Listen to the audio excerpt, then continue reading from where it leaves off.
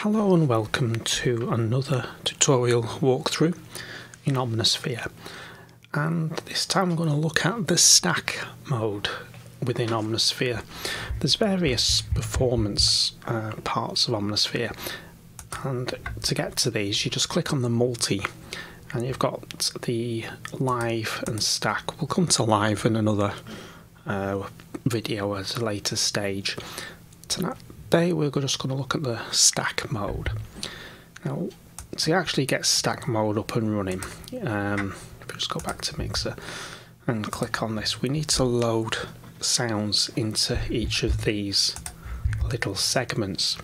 To keep it simple, we'll just look at um, two channels, uh, channel 1 and channel 2. We'll may go a bit further later on, but first of all, what we need to look at is for a pad sound, so I'm not to just, I'll just pick things at random here.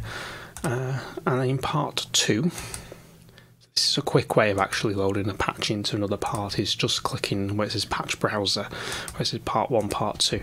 That pertains to these parts here part 1, 2, 3, 4, 5, 6, 7, 8. So the part 1, part 2. So if we went back into here and go to part 2, it saves you're going back to the uh, mixer page menu every time. So we'll just pick uh,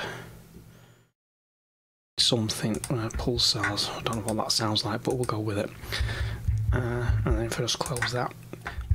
Now if we go to multi and click on stack mode, you can see here we've got four lines. Each line represents uh, the channel that the patch is loaded into. As we've got nothing loaded into 3 and 4, it'll just show as default. Now we've got Cream Motion 2 in um, channel 1 and lead pulsars in channel 2. So to engage stack mode, switch it on and essentially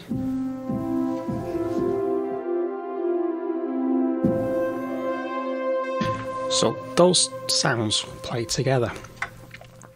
Um, if you want to split the keyboard, so you have the pad in the left side bass end, the lead in the right hand at the upper end, all you need to do is click and hold at the corner and just drag across.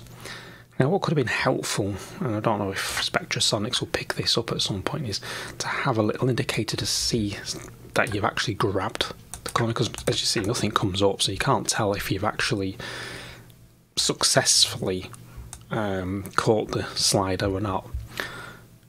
Put that aside, we'll make it middle C. And that's a middle C. So in the left hand,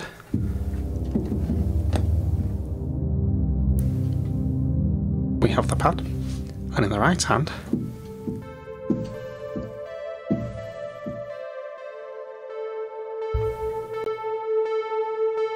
pulsars.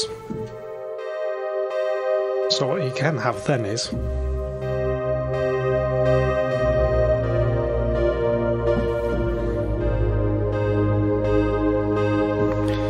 So you've got two different sounds playing. What I'm going to do is just going to swap out that pulsar's lead um, because it's it's not sufficiently different enough. So let's see.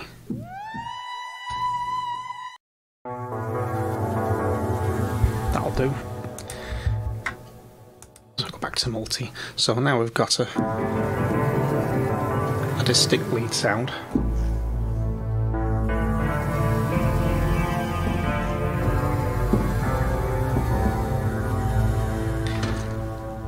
So that's one way of splitting the keyboard.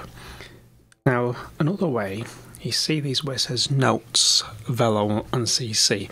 Well, notes is what it's set to now, so it splits a particular note.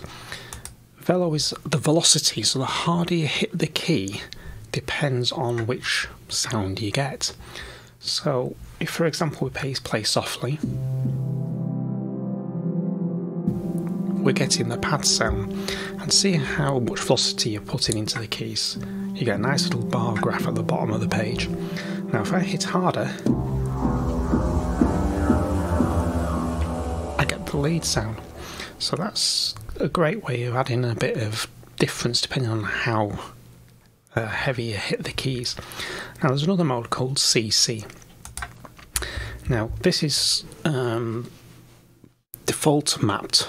Couldn't think of the word then for a minute. Been a long day. Um, it's default mapped to your mod wheel.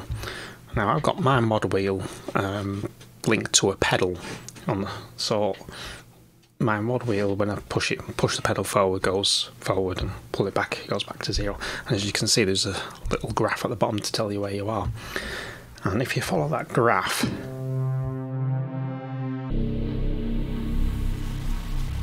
that's why I wanted something different to uh, sound wise to demonstrate the change. So we do that again that's the pad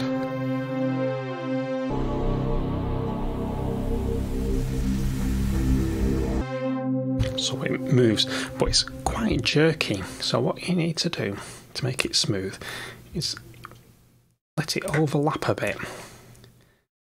And if you click in the top left hand corners, don't move the top there, you can alter the gradient of the crossover.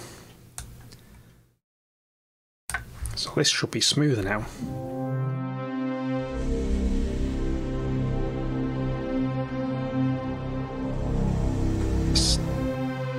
it's not as harsh when it moves over because you've got a slight overlap. Um, and as you can probably gather, you could get quite carried away with this because if I click on here and say I want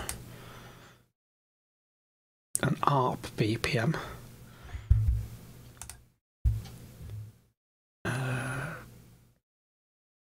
Boy Attack or GP Classic ARPs, that's usually a good one close that, uh, go back to stack mode. Now, at point at this moment in time, the arpeggiator will play through the whole lot.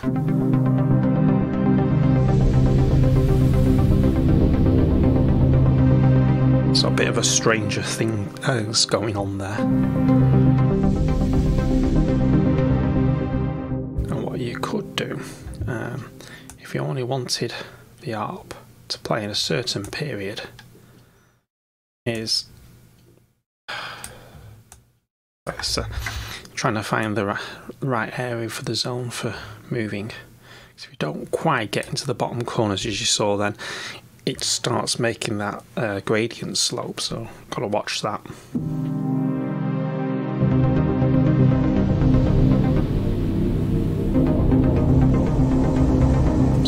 Have the art playing only at crossover point. So uh, just performance wise, you could have.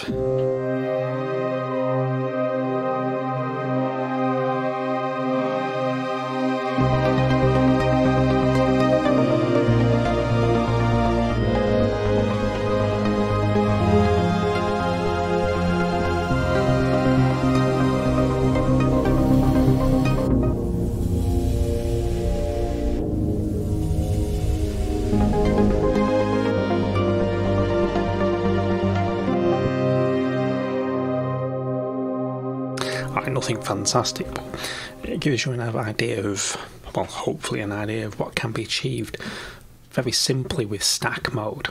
So we'll leave that there for now. Um, all I will say before I go is if you want to change what controls this, so if you don't want the model wheel to actually change uh, whereabouts in the sound you are, you just click on where it says CC1. and what you need to do then is map another controller on your keyboard or pedal or uh, control surface that you have to another CC number and select that and use that to change the sound. So that's stack mode in Omnisphere. If you enjoy this video, give it a like, subscribe to the channel, hit the bell in the top, as it looks at the screen, top right hand corner, and you'll be notified of when the next video is uploaded. And always uh, check out the blog on my website at www.biodiode.com. The link is in the description below, uh, where you'll find hints, tips, and techniques on how to hopefully improve your music and uh, get you on the road to creating your own.